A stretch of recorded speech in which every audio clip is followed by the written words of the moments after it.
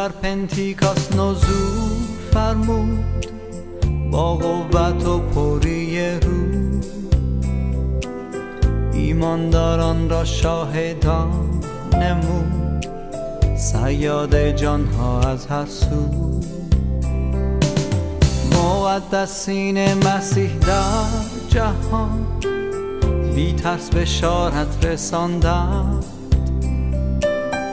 جفا و سختی فراوان با پیروزی به پیش تاختند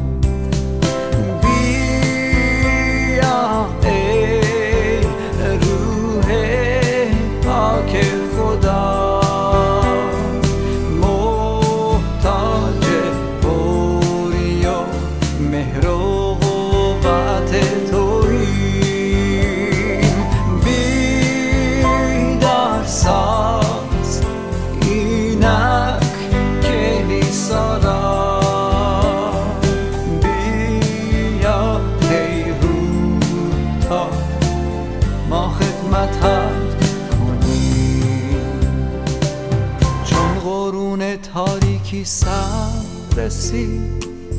عدالت از ایمان تابید. روح القدس تولدی نو داد بر کلیسا روحش دمید مؤمنین در هر جا کردن دعا. آغاز شدن بیداری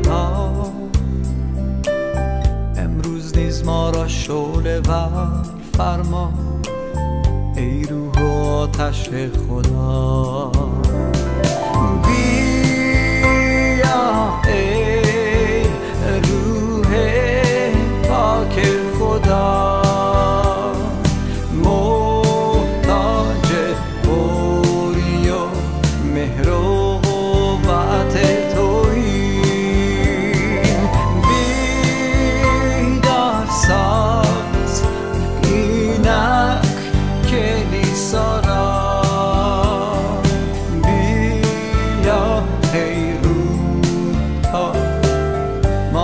خدمتت کنیم ما خدمتت کنیم